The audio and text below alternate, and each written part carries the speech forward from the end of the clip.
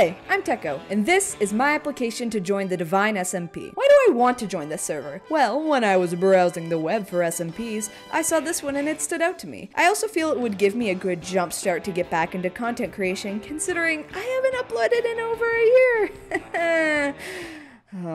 Why should you choose me? Because once I'm in an SMP, I'm a dedicated member. I always upload videos consistently on the SMP I'm in. You can check my channel if you'd like proof of this, or ask Raid16. I haven't talked to him in a while, but I have been in SMPs with him in the past, so I hope he'd be able to vouch for me. I love you, Raid. Now, I'm not entirely sure if people care about PvP anymore, but I'm better at 1.8 rather than 1.20, but this can still help you in the long run because I can strafe really well. Another thing I'd like to mention is that I'm a half decent builder, considering I've built all these things. Pretty good, right? I'm also proficient at parkour, which means I can stay alive longer if I'm on your team. Anywho, some unique skills I have. now boy oh boy, do I have jokes that will keep you on your toes. For example, why couldn't the skeleton cross the road? Because he didn't have the guts. I'd also like to think I'm pretty easy to talk to. Furthermore, not that this is a unique skill, but I'm very reliable and will either answer right away or within the first 30 minutes of being messaged, which means if you need me for something, I'll be there to help out ASAP. This rule goes for most of the time, but obviously I won't be able to stand beside it 100% of the time. Anyways, thank you for your time, and I hope you consider me for the Divine SMP.